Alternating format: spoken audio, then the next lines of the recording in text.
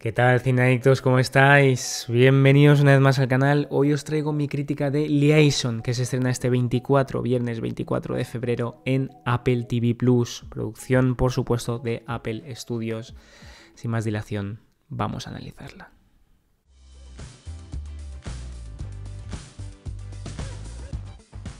Pues tenemos ante nosotros la primera coproducción de la historia francesa y británica de Apple TV. Apple TV que nos trae, eh, por ejemplo, la vuelta de Stephen Hawking como director. No Stephen Hawking, ese es otro, dejémoslo en su campo.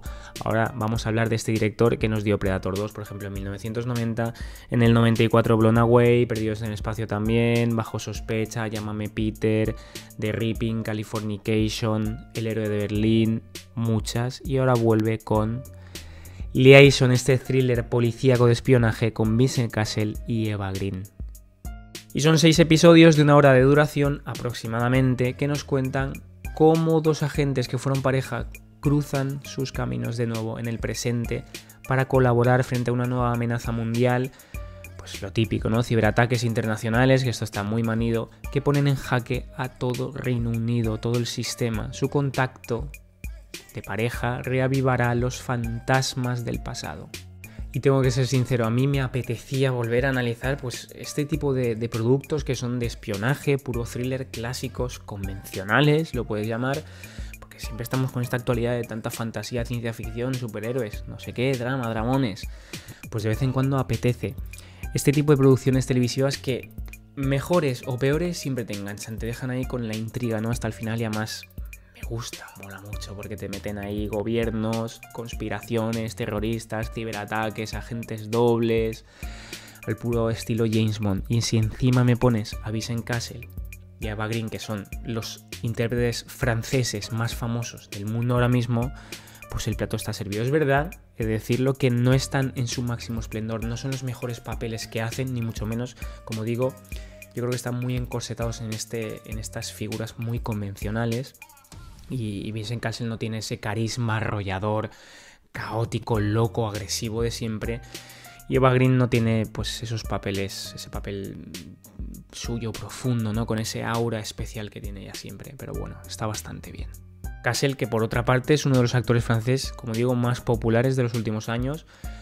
Le recordaréis por Mesrin, esta doble película 2008 de François Richet, eh, también Cisne Negro, haciendo de ese coreógrafo malnacido cabrón, hablando claro, que exprime al máximo al personaje Natalie Portman.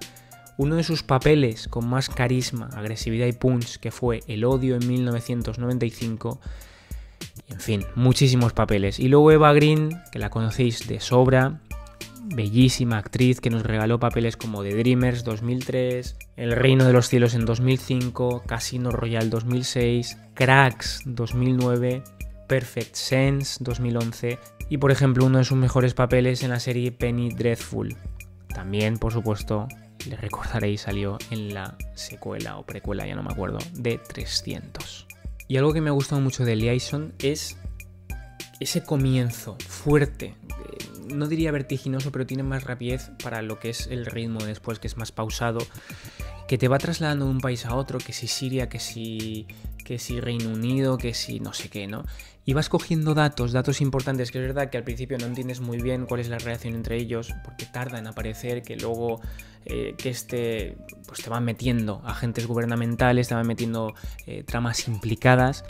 Y es cierto que la narración se toma su tiempo, pero creo que lo hace notablemente y le mete la fuerza cuando toca. Y también me ha funcionado que el ritmo general, como digo, sea pausado, general, y se fusione muy bien con esa tensión que es propia a la conspiración, ¿no? A las tramas políticas, al terrorismo y todas estas cosas, ¿no? Que siempre va en aumento, porque es necesario en este tipo de, productos, ¿no? Y asimismo ayuda a que el tono sea siempre elegante y sofisticado. Esto me encanta. Consciente de ello. Es verdad que en algunos momentos pesa la lentitud y los diálogos, sobre todo si a ti no te van este tipo de productos, ¿no? Pero en general compensa bien con escenas de acción y persecución que están muy bien rodadas y muy bien montadas.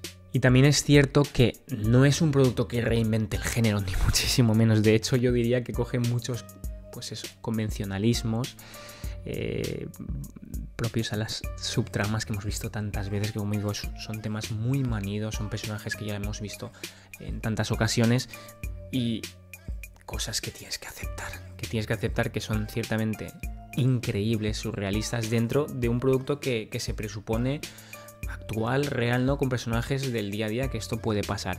Por ejemplo, pues situaciones que se dan eh, que sabes que, son pura casualidad, pero que además son fundamentales para el desarrollo del guion. Y esto es una torpeza de guion, ciertamente. Pero no hace que te aburras, no hace que estés pensando constantemente, joder, esto lo vi, esto no, esto sí, esta película, esta serie. Porque además a mí me recuerda bastante a Homeland, pero más por sus virtudes que por sus defectos. Pero lo que sí creo que llega a pesar es que dilaten tanto el misterio alrededor de esta pareja de protagonistas que son los personajes de Green y de Castle, sobre sus lealtades, cómo son ciertamente el centro de todas las tramas y subtramas de corrupción, ciberataques, burocracia que les rodean, ¿no? Sí creo que esta relación extraña tiene suficiente pasión como para engancharte, esto es así, pero no goza de la fuerza suficiente como para justificar el cómputo general de la serie, que puede llegar, como digo, a hastiar cuando se va acercando ese final, ¿no?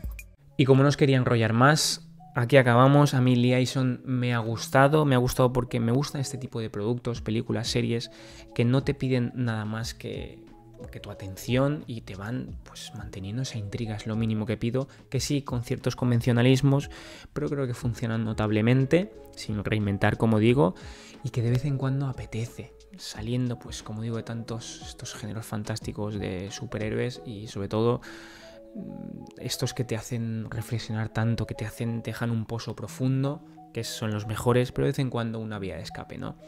Creo que está perfectamente rodada, montada. A mí me gusta, Vise Castle, Eva Green me gustan y creo que hacen un trabajo notable para lo que es su objetivo en el género, ¿no? En fin, si te ha gustado el vídeo, like, campanita para que te lleguen las novedades, déjame en los comentarios lo que tú quieras, me puedes seguir en redes sociales y nos vemos en el siguiente vídeo análisis. Hasta luego.